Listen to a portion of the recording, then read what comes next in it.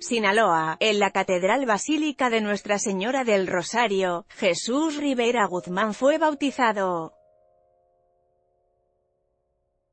Ocasión especial en la estuvo recibiendo muchos besos y abrazos por parte de sus padres, Franz Guadalupe Guzmán López y Medardo Rivera Ramírez. Como sus padrinos fueron escogidos Anel Saraí a la Torre y Brian Alejandro Abrego de la Rosa, quienes aceptaron este rol en la vida del pequeño con alegría. Sus abuelitos Rosa Elena López y Juan Francisco Guzmán acudieron al lugar de la misa a ofrecerle la bendición a su nieto. Jesús recibió las palabras del Padre dichas en su honor durante la misa de su bautizo, Jesús Rivera Guzmán, al lado de sus padres, el bautizado con sus padrinos. Jesús, en la foto con sus abuelitos. En esta nota,